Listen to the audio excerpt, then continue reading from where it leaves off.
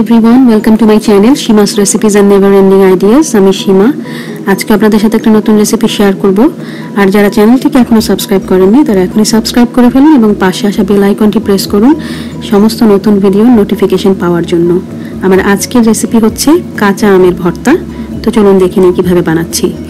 এখানে একটা কাঁচা আম নিয়েছি। মিডিয়াম সাইজের আমগুলোকে কেটে নিয়েছি, পাতলা স্লাইস করে, যাতে ভিডিওটা একটু ছোট করে তৈরি করা যায়। সেই জন্য আগে সব কিছু আমি তৈরি করে আপনাদেরকে মানে কেটে আপনাদেরকে দেখাচ্ছি। এটা আপনাদের যেভাবে ইচ্ছা সেভাবে কাটতে পারেন। আমি বিদেশে থাকি, তো এখানকার আমগুলো অত সুন্দর সবুজ হয় না বাংলাদেশের মতন। দেখাচ্ছি একটু লালচে লালচে লাইটের জন্য হয়তো বা কিন্তু এটা কিন্তু কাঁচা আম, আপনাদেরকে আমি দেখালাম। এবং খেতেও বেশ কচকচা। এটা হচ্ছে ভাজা মরিচের, মরিচটাকে আমি গুঁড়া করে নিয়েছি। আপনারা চাইলে এভাবে গুঁড়া করে জারে রেখে দিতে পারেন, অথবা ভে জাস্ট তেলে গুঁড়া করে নিয়ে ভর্তা বানাতে পারেন। আর লাগবে আমাদের লবণ, স্বাদ মতো। দিতে হবে চিনি, স্বাদ মতো। এখানে দেখাচ্ছি সরিষার তেল। মাস্টার্ড অয়েল যেটা আর কি। আর হচ্ছে কাসুন্দি। কাসুন্দিটা আমি কেনা কাসুন্দি ব্যবহার করছি, আপনারা বাসায় তৈরি করে নিতে পারেন। এখানে আমি ধনিয়া পাতা কুচি করে রেখেছিলাম, আপনারা দেখতে পাচ্ছেন আমের উপরে। এবং তার উপরে আমি দিয়ে দিলাম হচ্ছে কাসুন্দিটা। কাসুন্দিটা এক স্পুনের মতন দিয়েছি, আমি যেহেতু এখানে এক কাপের মতন আম কাঁচা মানে আম কুচি হয়েছে।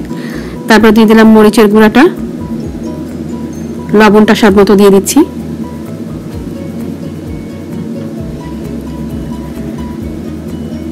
এরপর দিয়ে দেবো হচ্ছে একে একে সব উপকরণ, সরিষার তেল দিয়ে দিলাম।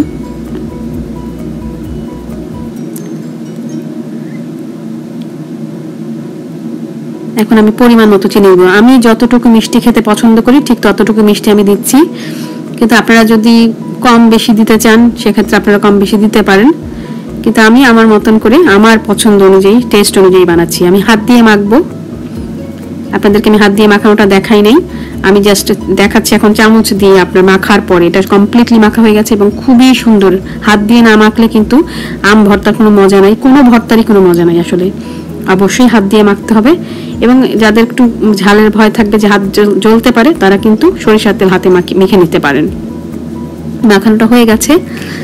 আমি এখন পরিবেশন করে আপনাদেরকে দেখাচ্ছি যে কি সুন্দর একটা আমের আচার তৈরি হয়ে গেল অল্প একটু সময়ের মধ্যে মানে আমের ভর্তা ভর্তা আচার। এটা খেতে অসম্ভব মজা। আপনাদের কাছে যদি মানে সরিষা থাকে আর যদি কাসুন্দি না থাকে, সেক্ষেত্রে আপনারা কিন্তু কাসুন্দির পরিবর্তে সরিষাটাও ব্যবহার করতে পারবেন। আর আশা করি এই সহজ রেসিপিটা আপনারা অবশ্যই বাসায় তৈরি করবেন এবং আমাকে জানাবেন কেমন হয়েছে। সবাই ভালো থাকবেন। Good bye